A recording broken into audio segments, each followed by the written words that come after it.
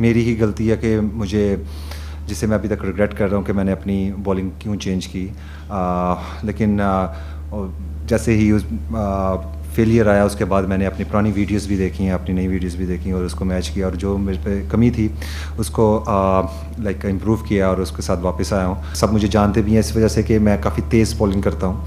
सो one day cricket में मैंने अपने आप को खुद से ही लाइक कहा कि मैं थोड़ी सी पेस कम करता हूँ। क्या पता इसमें हेल्प मिले सब कॉन्टिनेंट में मैचेस होंगे और मैं स्लो बॉलिंग करूँगा तो मुझे हेल्प मिलेगी। सो so, एक वार्म अप मैच खेला वर्ल्ड कप का जिसमें मैंने स्लो बॉलिंग की और उसमें मुझे थोड़ी सी सक्सेस मिली। कराची में तो काफ़ी ज़्यादा सपोर्ट भी मिलती है स्पिनर्स को।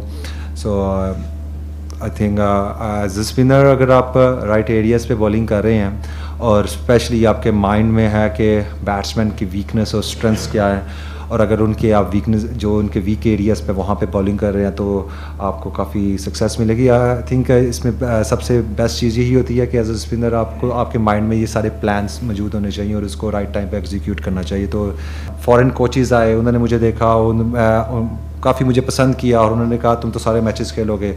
वहाँ मुझे फ़र्स्ट टाइम सारे मैच में खेला, मैं बेस्ट बॉलर हुआ वनडे का।